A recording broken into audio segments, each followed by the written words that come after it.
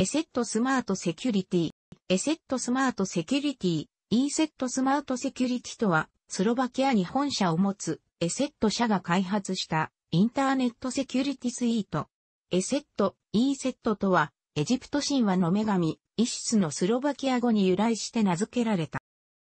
日本でのパッケージダウンロード版、法人向けの販売、サポートは、キャノン IT ソリューションズが担当。エセットインターネットセキュリティは、エセット社が開発した、ノット32アンチウイルスの上位版である。ノット32アンチウイルスにパーソナルファイアウォールや迷惑メール対策などの機能を追加して、2007年、平成19年11月に発売された。日本で大きなシェアを占めるシマンテック社やトレンドマイクロ社のアンチウイルスソフトと比較して、プログラムサイズや定義ファイルが軽量コンパクトで動作が速いなどの特徴を持つ。東京大学情報基盤センター、鹿児島大学、日本大学生産工学部、国立天文台、病院、教育施設、研究機関、官庁、地方自治体などで幅広く導入されている。なお、日本大学生産工学部では2002年、平成14年、1年をかけて、キャノン IT ソリューションズと実証実験を行い、ヒューリスティック機能の有効性により2005年、平成17年から採用された。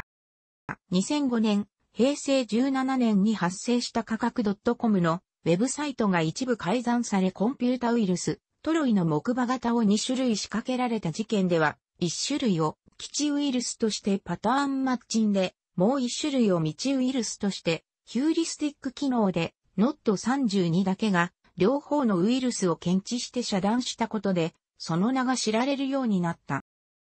Windows Server 2008R2 等のサーバー OS や Windows XP X64 発売からほど、なくして64ビット版 Windows にも対応。また、ユーザーインターフェースがやや独特で設定も詳細に指定、可能である。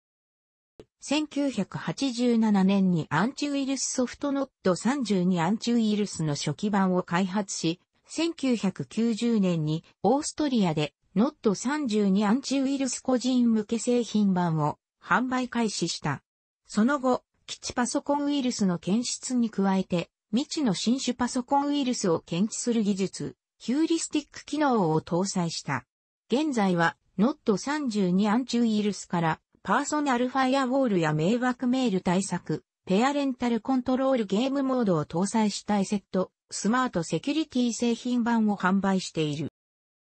2016年リリースの V10.0 より、名称がエセットスマートセキュリティ、e セットスマートセキュリティからエセットインターネットセキュリティ、e セットインターネットセキュリティに変更され、上位版としてエセットスマートセキュリティプレミアムが追加された。V5.0 以降、楽しくご覧になりましたら、購読と良いです。クリックしてください。